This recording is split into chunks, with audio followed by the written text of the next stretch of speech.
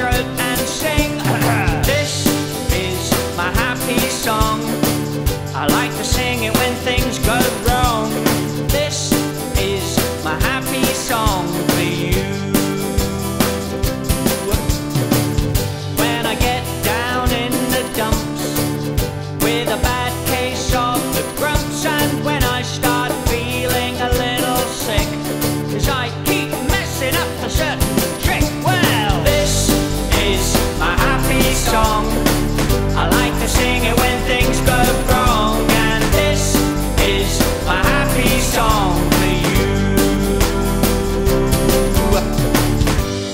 mirror, there's a boy who's sad.